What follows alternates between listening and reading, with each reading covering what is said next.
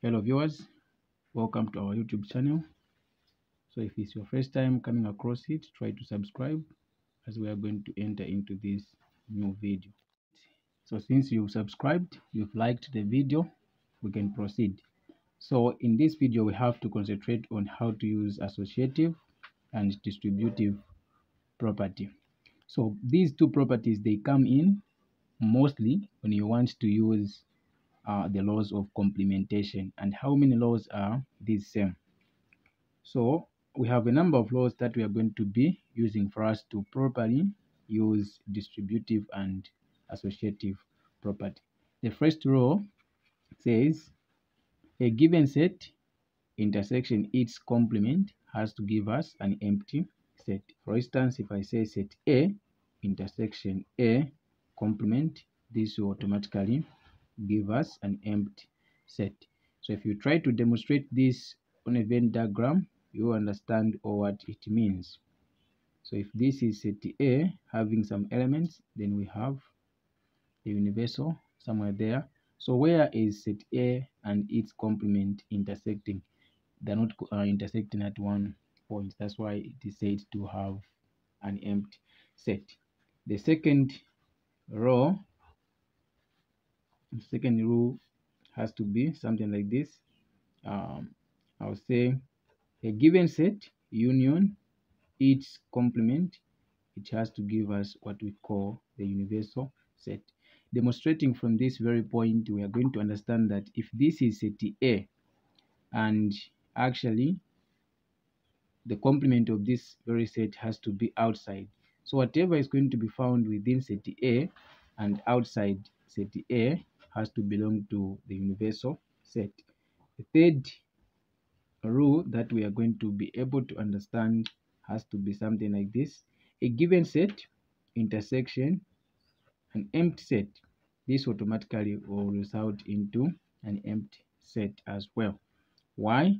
Because there is no point where these two sets are going to do what to intersect. If you try to understand it on a Venn diagram, we are going to have something like this. I'll consider the set on this given part as an empty set, then set A as a set which is going to be having some elements such as 1, 2. So we are, we are going to understand that a given set A and an empty set, they don't have any element in the middle. That's why this same part is also said to be an empty set. All right, the fourth rule that we are going to understand here is a given set union a complement of sorry a given set union empty set we are going to understand that it has to be uh, the set itself or it has to be a universal set. So a given set union empty set this will result into a set itself. Why? Because the total sum of elements that are found in this set and an empty set they're supposed to give us the set itself. Okay uh, what else? The fifth rule rule number five that we are supposed to understand here is a set a given set intersection the universal set the answer we are going to get has to be the set itself. Why? If i try to demonstrate it from there i'm going to understand that universal set and set a where do these two sets intersect so they are going to intersect on the set which is also found in the universal set. These are the major major points that we are supposed to understand as we are trying to use a distributive property. So most of the times distributive property works well if you want to do what you want to to distribute a complement on the sets that are inside.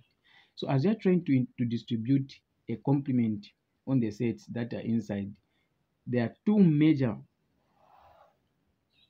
laws that we are going to introduce again that will help us understand what we are going to be doing. And what are these same laws? If I try to distribute a complement on two different sets, automatically the sign in the middle is going to change and we are going to result into a complement. So since I'm saying the sign in the middle has to change or the symbol in the middle has to change, we are going to notice that instead of writing intersection which is here we end up having a union in the middle. Why? Because we've distributed a complement on two different sets. Okay. Uh, at the same time, we are going to understand again uh, that multiplying two complements this is exactly the same as making them disappear. So we are trying to cancel out the complements the moment you multiply them. If you say this multiplied by that it will result into something which you won't have a complement. That's what we are supposed to understand the most in this case. So distributive property simply means taking a complement on two different sets. But don't forget that the moment you introduce this same complement on these two sets automatically the symbol in the middle has to do what? Has to change. Instead of we writing intersection this symbol is going to change to a union. If we had union initially meaning that here we are going to have um, an intersection on the right hand side. Then associative property simply means multiplying the set which is outside with whatever you have inside the brackets. Multiplying the set which is outside with whatever you have inside the brackets. Let's try to have one example. All right so our question goes like this using associative and distributive properties of union and intersection of the set show that x union open bracket x complement intersection of y close is equal to x union y. So some people will even start moving from the uh, left hand side getting what is on the sorry moving from right hand side going to the left hand side of which it will take time for you to do that. So the best way is to move from left hand side going to the right hand side. So i'm going to write it like this. I'm moving from the left hand side going to the right hand side. Okay so what are we going to understand here? Since we don't have a complement outside the brackets definitely we can't use the distributive property. We are going to go direct to associative property. How are we going to associate? We need to multiply what is outside by what you have inside the brackets meaning that we are going to multiply x union by this one then combine everything by intersection. So this is going to give us x union x complement. I'll put this inside the brackets then i'll connect with the intersection in the middle i'll say open again then multiply this again by what you have somewhere there so we're going to have something like this remember we're interested in getting something like this which is on the right hand side then according to the um, the rules that I gave you, the rules of complementation, any set union its complement. What did we get? A given set union its complement. What did you get? So we are here.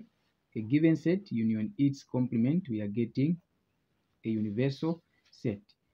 So actually, we are using associative property. You need to write this on top.